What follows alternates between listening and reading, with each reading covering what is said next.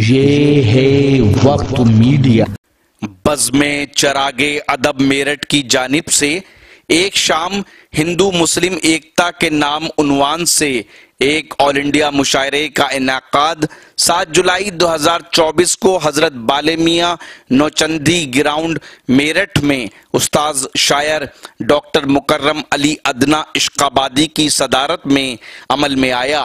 सरपरस्त मुशायरा रहे आदिल चौधरी साहब, महानगर अध्यक्ष, समाजवादी पार्टी मेरठ। मेहमान खसूसी रहे विपिन चौधरी साहब, जिला अध्यक्ष, समाजवादी पार्टी मेरठ। शमा रोशन की भूरे चौधरी साहब, पूर्व वाइस चेयरमैन मुरादनगर। मेहमान एजाजी रहे फारूक चौधरी साहब, वरिष्ठ सपा नेता मुरादनगर। और मेहमान जी वकार रहे पवन गुज्जर साहब प्रदेश प्रभारी भारतीय किसान यूनियन अजगर। मुशायरे के कन्वीनर रहे मेरठ के दो उभरते हुए नौजवान शायर रमीज वाहिद मेरठी और फैजान काश्मीरी। विपिन साहिब से गुजारिश है कि वह अपने ख्याल का इजहार भी फरमाएँगे और हमें नसीहत आमेज कलीमात से भी नवाजेंगे। विपिन चौधरी साहब। इतना कीमती वक्त उन्होंने हमें दिया। हम उनके शुक्रगुजार हैं। विपिन चौधरी साहब। का नमस्कार अस्सलाम वालेकुम।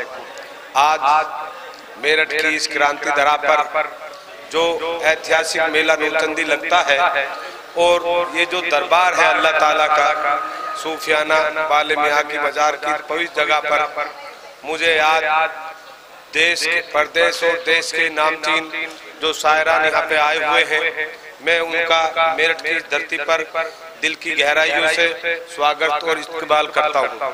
और मैं खुश नसीब हूँ जो आज ऐसी पावन धरा पर बाले मियाँ की मजार पर मुझे आज यहाँ मुख्य अतिथि बनने का मौका मिला। ईशा अल्लाह अल्लाह ताला ने अगर आगे चाहा तो मुझसे जितनी खिदमत आप सहाराना की हो सकेगी मैं करने की कोशिश करूँगा। मैं प्रदेश से देश से आए हुए सभी सहारानों का दिल की गहराई से हार्दिक स्वागत और अभिनंदन करता हूँ। मेरठ एक ऐसी क्रांति धरा है और उर्दू जो भाषा है देखिए मैं उर्दू भाषा तो जानता नहीं हूँ लेकिन वो इतनी मीठी भाषा है कि रसगुल्ले से भी मीठी भाषा है।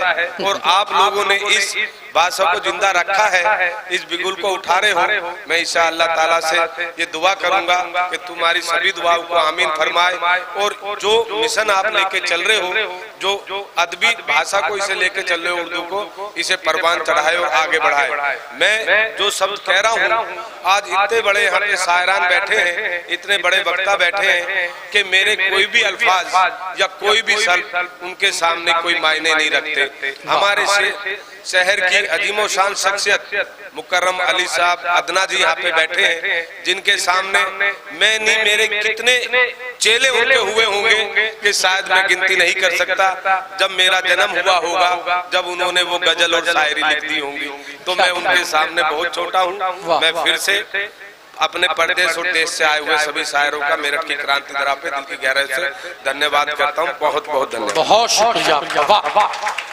आपके शहर के मुशायरे वक्त मीडिया कवर करे तो आप हमसे कांटेक्ट कर सकते हैं। हमारा कांटेक्ट और व्हाट्सएप नंबर है triple nine seven six four zero two eight six फिर किसी शहर से किसी और मुशायरे को आप तक पहुंचाएँगे।